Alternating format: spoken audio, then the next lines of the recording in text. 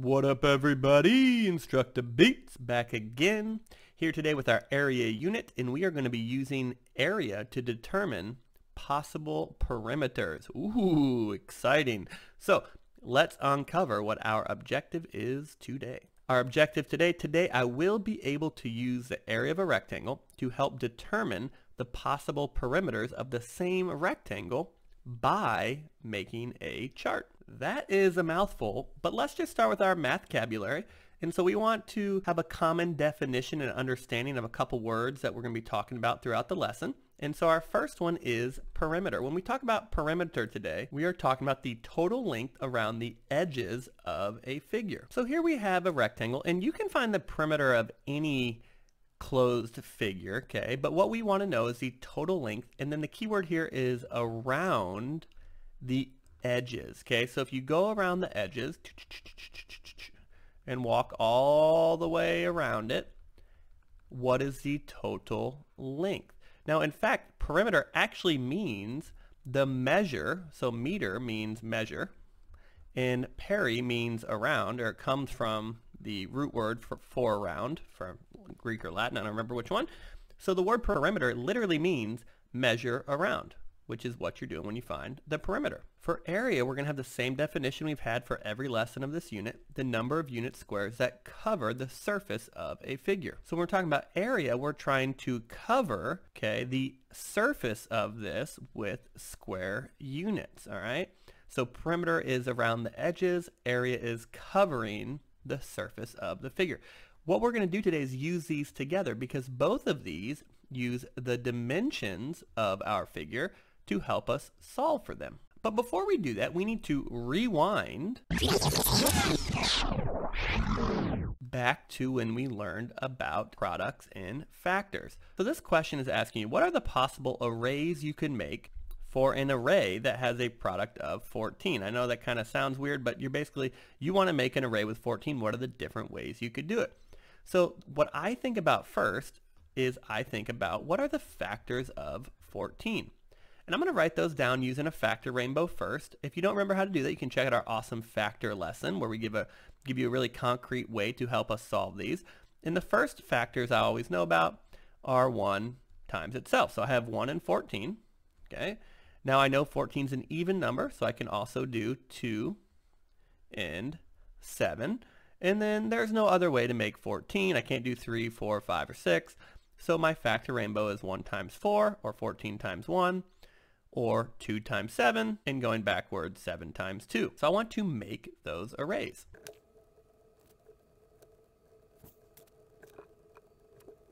All right, so I just made these arrays.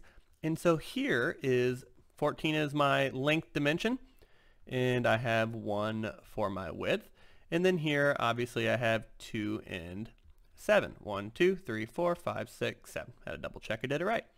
Now, I could turn these, right, and make this vertical, make that horizontal, but that's just the commutative properties. These are the two different arrays that I can make.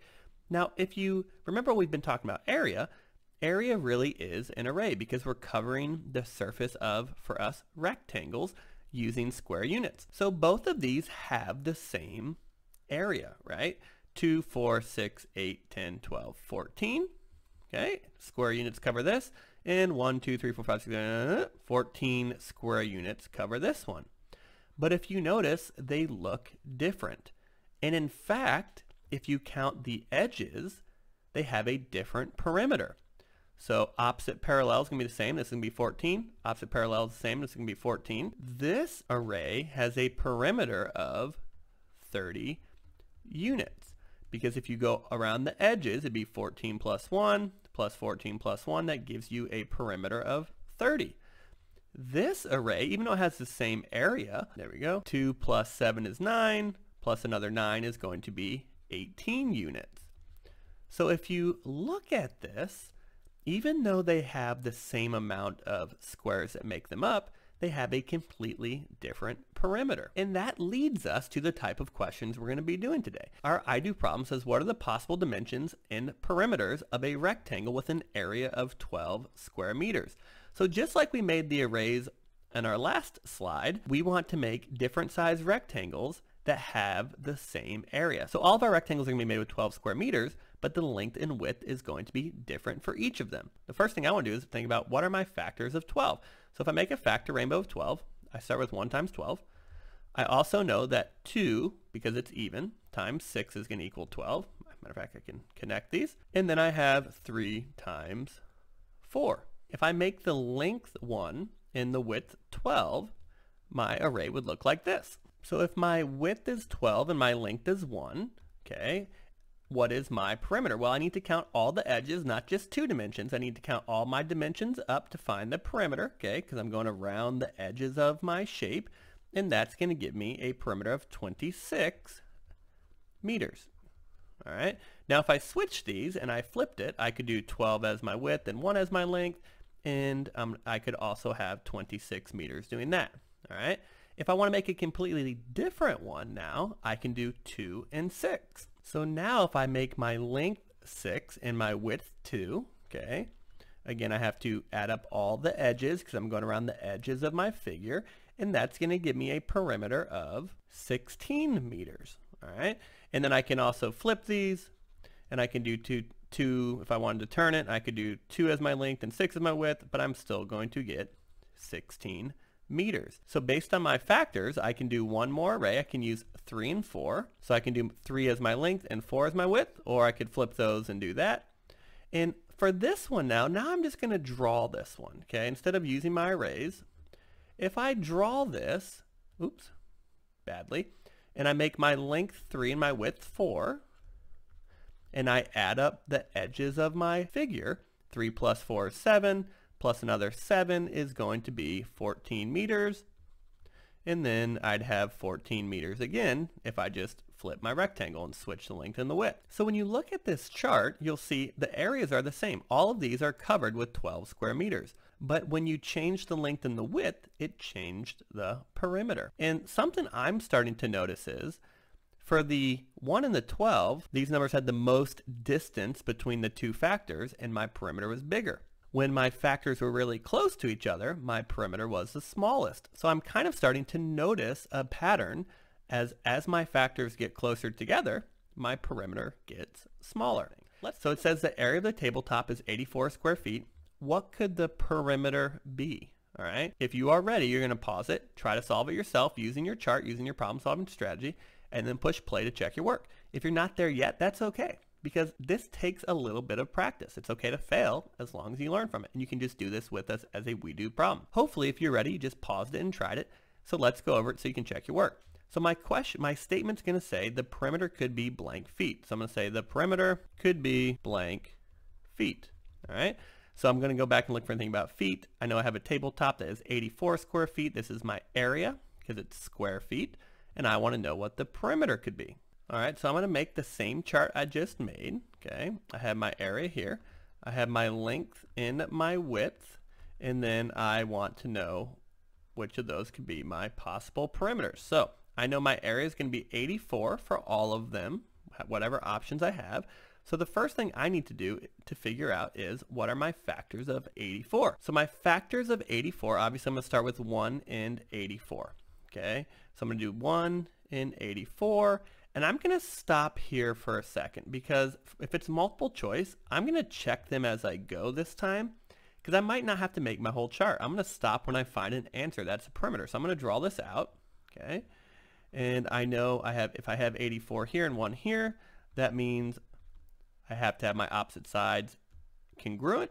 So when I add these up, I get a perimeter of 170 feet. Okay, so I know that it's not going to be 1 in 84. So now I need to go to my next factor, which I know 2 because this is even. 2 times 42 is my next dimensions that I could possibly have. I'm going to erase this. Okay, I'm going to draw that rectangle.